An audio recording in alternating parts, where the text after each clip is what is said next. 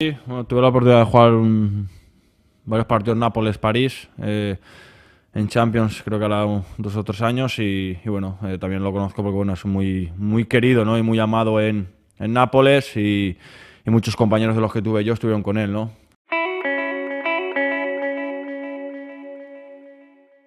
Al final eh, todos sabemos, ¿no? El grandísimo jugador que es, el grandísimo goleador que es y, no me extraña nada, ¿no? Que pese a, su edad y todo siga en el estado de forma en el que está.